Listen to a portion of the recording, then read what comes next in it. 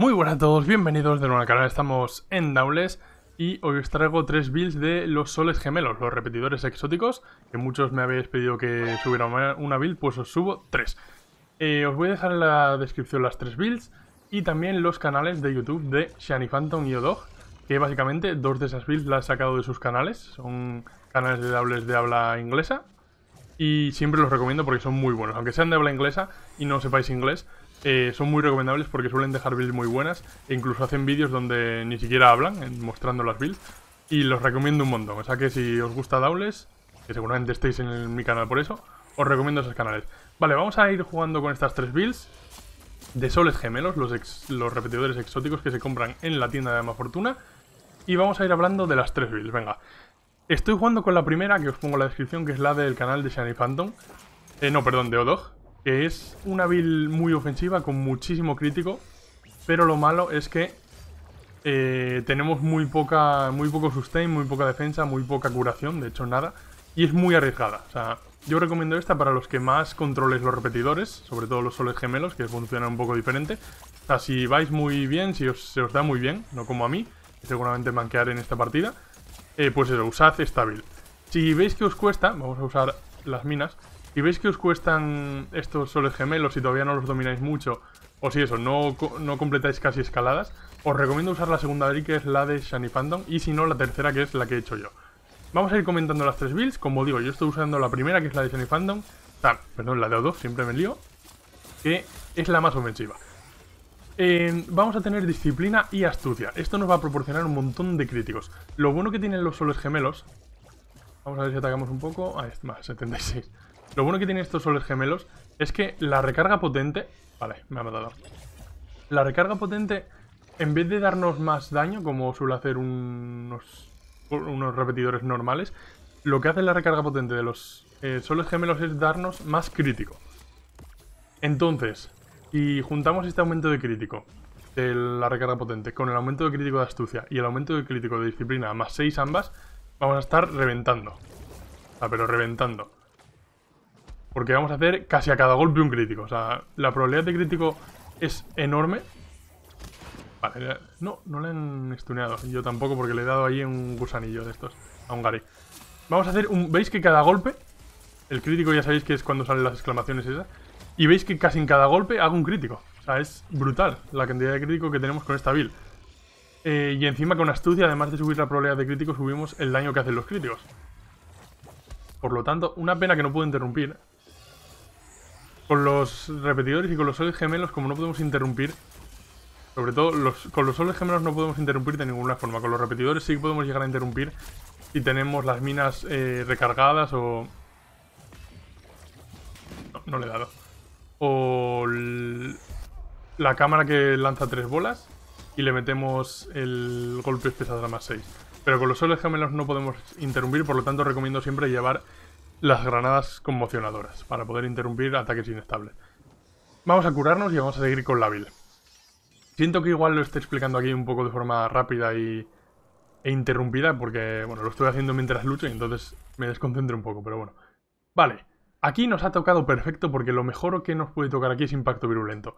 Como tenemos tantos críticos, impacto virulento como AMP nos viene muy bien porque lo que hace impacto virulento es que los golpes críticos un 75% de cada golpe crítico de ese daño se lo podemos hacer a ese Behemoth y si hay otro por ser enfrentamiento doble a ese otro. Entonces, con esta build, como vamos a hacer un montón de críticos que ha sacado golpe, vamos a estar haciendo un montón de daño a ambos Behemoth. O sea, vais a ver cómo revienta. Eh, vamos a seguir con la build. Disciplina, astucia y el crítico de los soles gemelos, un montón de críticos. Con disciplina, lo malo es que vamos a tener la mitad de la vida. Le vamos a meter furia para aumentar el daño y le vamos a meter depredador para aumentar también el daño y conducto para la velocidad de ataque. ¿Cómo nos queda esta primera build de Shiny Phantom? De Odog, joder. ¿Cómo estoy hoy, eh? esta primera build de Odog básicamente se resume en mucho crítico, mucho daño, pero mucho riesgo. Sabéis que no tengo ninguna forma de curarme. Veis que encima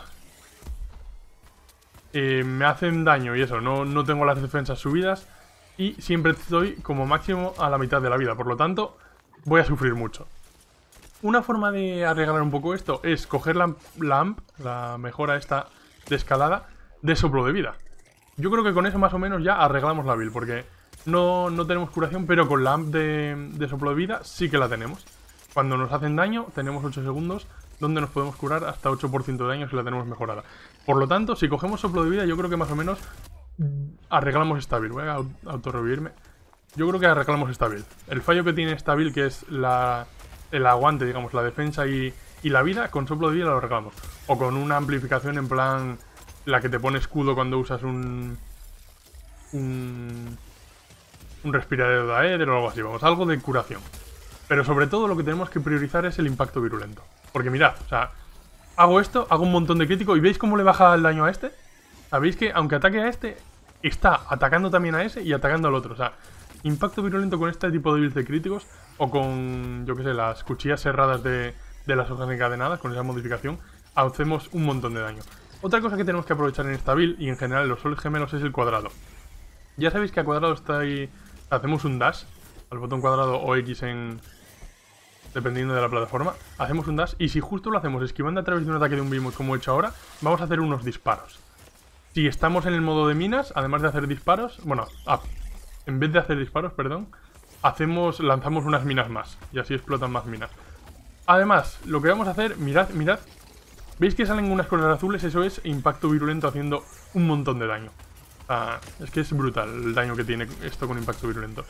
Otra cosa muy buena de esta build, y que recomiendo siempre los soles gemelos, es la modificación que lo que hace, eh, no, me acuerdo el nombre, la vamos a ver ahora cuando me carga este, es que mirad el daño que hacemos con impacto virulento, eh.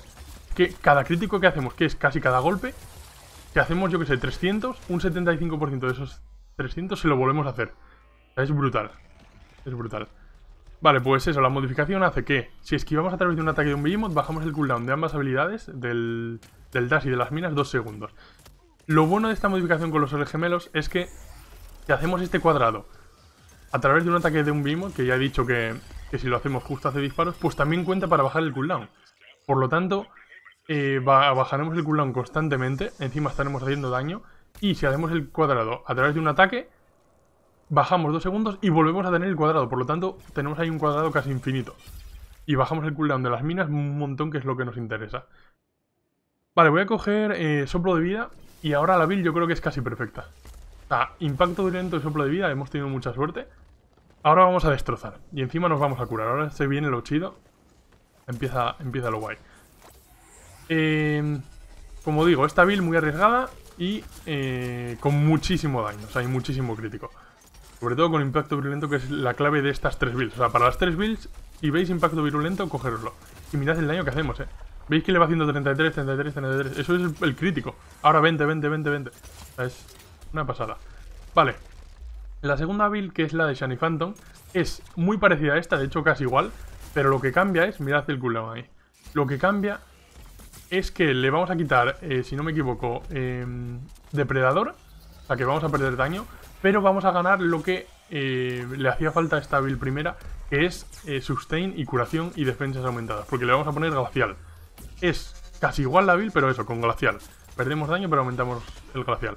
Esto es muy bueno, si veis que con la primera build os cuestan las cacerías o las escaladas, poneros esta segunda porque es muy parecida, pero eh, si vais a mantenerlo de estar a mitad de vida, pero lo bueno es que vais a tener más defensas y encima os vais a curar. A ver, es, es, mejor. Es mejor en el sentido de si sois más malos o si no se os dan muy bien las escaladas, podéis cogerosla. Pero es que en realidad esta primera build hace mucho más daño y a la mínima que tengáis soplo de vida ya estáis casi equiparándola a la otra. O sea que bueno, eso es en función un poco de gustos. Eso sí, sí. A ver, si os, se os da realmente mal y os cuesta, es tontería llevar esta primera build de Odog porque es muy arriesgada. Eso sí, veis que destroza. Tiramos minas. Las minas, sobre todo, cuando hacemos críticos de 2000, 3000 de daño seguidos. Mira, 2000, 2000, tal, tal, tal. Vale, ahí se lo volvemos a hacer el daño y es brutal. Mirad cuánto daño, eh. es que es brutal, es brutal. Y la tercera build, esa es la que he hecho yo, que también estará en la descripción. Es un tanto, bueno, es un tanto convencional, es más parecida a lo clásico, porque le vamos a quitar disciplina. La he hecho básicamente pensando en los que no tengáis disciplina, porque es una célula disciplina que se compra en la tienda de más fortuna. Y encima también pensando en los que no os gusta llevar disciplina porque no os gusta tener la mitad de la vida. Y es una build que mantiene los críticos pero en menor medida porque vamos a tener solo astucia. astucia me parece vital, o sea, me parece muy buena con los soles gemelos. Pero bueno, vamos a tener daño, vamos a tener cosillas de daño y va a estar bastante bien también. O sea que es una build un poco menos arriesgada, pero también buena. Pero es que esta primera build de Odog a mí me parece brutal. O sea, sobre todo eso, con impacto violento, que hemos tenido mucha suerte de tenerlo como primera amp, es pero brutalísima. O sea, el daño que hace, ni os lo imagináis. Cada crítico, el 75% de ese daño del crítico se lo hace a ese mismo y al otro. O sea, es brutalísima. Vale. Eh... Mira, más críticos podemos tener. Rellena los frascos. Eh... Esta para el daño. Esta. Esta también es muy buena. Ahora si esquivamos tenemos un 20% más de daño nosotros y los compañeros. El impacto virulento es una burrada. Una burradísima. Y mira, parecen los hermanos a la traba. Vale. Mina Mira, mira, fijaros aquí. Ahora creo que va a volver. Ahí está. Tiramos ahí unas minas extra. Y ahora vamos a tirar más minas. Y fijaros ahora en el daño que le vamos a hacer a él y a su compañero. Ta, ta, ta. Y mira, todo ese daño es nuestro. Es que es brutal. Y a él también, o sea, es que es brutal. Soy un pesado, pero es que el impacto virulento es brutal si llevamos un mínimo de críticos. Ya os digo yo que, ya os he dicho que no soy muy bueno con los soles gemelos. Por lo tanto, no estoy jugando al 100% como se debería jugar, pero bueno, aún así veis que destroza la build. A la mínima que con las AMPs formemos una buena build, paliando un poco el robo de vida con soplo de vida, poniendo impacto virulento, todo eso, ya, vamos, destrozamos. Voy a revivir al compañero. Y si usara más golpes de cuadrado, para esquivar a través de ataques de mismos y bajar el cooldown, lo haría mucho mejor, vamos. El rendimiento subiría un montón. Vale, tiramos estas minitas al killshot. Total, le va a dar a los dos. Ahí está, le estoy dando a este. Y a ver si usamos un poco de cuadrado. ya está, para bajar el cooldown y tirar otras minas. Un poco más. Mira, encima si un compañero se ha cogido lo de... Que cuando usa la mantenida de la linterna da escudo a todos. Y mira, me está ayudando a mí también a paliar un poco el, la falta de curación. Aquí en realidad si vais con amigos... Aunque esta build sea muy arriesgada, os podéis ayudar mutuamente. Pues eso, que otro se coja algo de curación y os ayudáis mutuamente. O sea, están cayendo muy rápido estos bichos, ¿eh? Uh, dado una de esas. Encima con soplo de vida, veis que cuando tiramos las minas y si justo tenemos soplo de vida, nos curamos toda la mitad de la vida, ¿sabes? Seguimos atacando, vamos a usar esto para desplazarnos. Y yo creo que más o menos no queda nada más por comentar. O sea, los soles gemelos ya sabéis que lo peculiar que tienen es que son como unos repetidores, pero se enfocan más en el crítico. En vez de tener daño aumentado cuando hacemos la recarga poderosa, tenemos más crítico. Y en vez de tener esas habilidades que podemos ir cambiando, tenemos estas dos que son el dash y las minas. Ah, por si alguien no sabía cómo funcionan estos soles gemelos, aunque tengo alguna guía en el canal de soles gemelos. Ahí ya me curo, ya hago, hago, de todo. O sea, lo que le faltaba a esta build, con las AMPs ya lo he paliado. Era curación. Y aquí le tiramos esto y vamos a reventar al pobre Naizaga. Ya estoy poniéndoselas al otro. Y le tiro unas minas más. Y ¡boom! Mira, 3000 y pico. Salgo a mi compañero. Ah, es que encima se ha notado que ya hemos mejorado, ¿eh? Para el enfrentamiento contra el Malcarion vamos a ir muy bien, yo creo. No nos va a durar nada, ya, os lo digo yo. Vale, me curo aquí un poco, veis que me estoy curando con soplo de vida. Le bajamos ahí. Usamos esto, bajamos cooldown, metemos más daño con la linterna. Linterna del Rush, que no lo he comentado, para aumentar todavía más el daño de sus críticos. Muy importante. La del Emberman la suelo recomendar para repetidores, pero con soles gemelos, como es más crítico, suele ser mejor llevar más daño. Pillamos esta, a ver qué nos queda para, para finiquitar. Metas de equipo no estaría mal. Eh, más, más 30 probabilidad de crítico, esto sería ya para hacer todos los golpes críticos. No sé si coger metas de equipo. Venga, vamos a coger esto y ir full críticos. Aunque no es necesario, yo creo. Yo creo que el crítico ya lo tenemos bien cubierto. O sea, yo creo que estamos haciendo incluso hasta 80% de crítico. Con todo junto. A que no es para nada necesario. Ahora yo creo que cada golpe va a ser crítico. O casi cada golpe va a ser crítico. Ya 100%. O sea, cuando lo tenemos recargado potente. Ahora. con esta recarga potente, vamos a fijarnos a ver si todo es crítico. Crítico, crítico, crítico, crítico, crítico. Todo crítico. Es una burrada, está bien. Vale, tenemos minitas. Así las tiro y me subo. Ahí está. Le voy haciendo daño y ahora me subo. Pues vale, veis cómo destroza, es que destroza, en realidad destroza. Es un poco arriesgado al principio, como digo, pero una vez que te vayas hinchando amps, de curación, de tal, destroza. Vamos a subirnos otra vez. Y montamos. Subimos. Uy. Montamos. ¡No! ¿Qué es esto? Nunca había estado ahí. Cuando hacía ese ataque. Vale, a ver si con el soplo de ahora nos curamos un poco, que me ha golpeado. Sí. Y voy a ver... Vale, minitas. Minas muy importante tirarlas cuando las tengáis. Es que es lo vital también de, los soles gemelos. Tirar las minas rápido para hacer mucho daño. Ahí está. Le hacemos el daño por el impacto. Vale, ahí hago el cuadrado, subo el cooldown. Bueno, lo bajo. Mm, ahí no le he dado. Lo bueno es que no me ha matado. A ver si me curo un poco.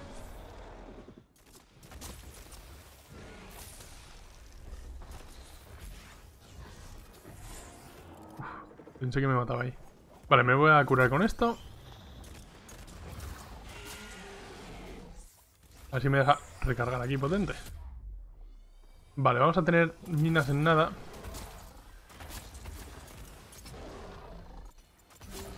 Vale, minas. Las tiramos. A ver si no se me va. No, me ha cogido, tío, me ha cogido. Compañeros. No. Me ha cogido y me mata. Bueno, me revivo, no pasa nada. Sigo con las minas. tengo aquí unas cuantas más. Y encima le tiro unas más. ¿Qué ha pasado ahí?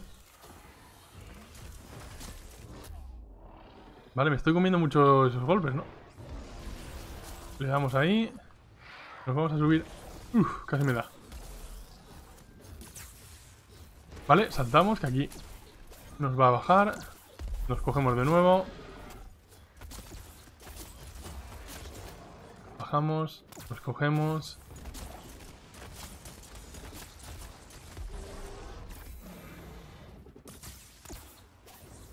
Vamos otra vez.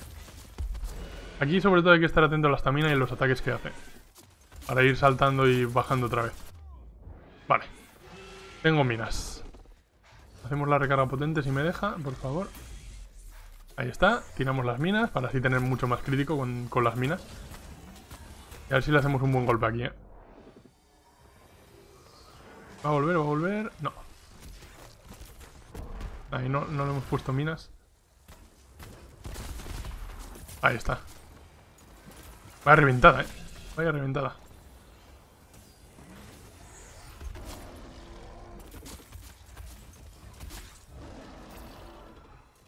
No están nada mal los repetidores contra el Macarion, ¿eh? Porque es un bicho que hay muchas ocasiones que lo tienes no muy lejos, pero tampoco muy cerca. Y con algunas armas igual te marea un poco. Pero con los repetidores, yo cuando los suelo coger, como que me, me suelen servir. Y encima este ataque, por ejemplo, es fácil de esquivar porque le das y lo, expulsas, ¿no? Voy a acercarme para curarme un poco.